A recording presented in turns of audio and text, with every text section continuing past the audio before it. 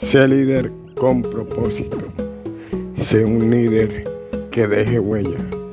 Sé un líder que deje guía. Sé un líder que tenga norte.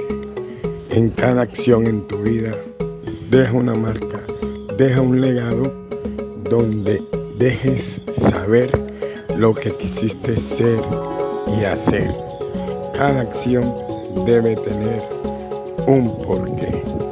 Y nunca olvides crecer creyendo en ti. Dios te bendiga.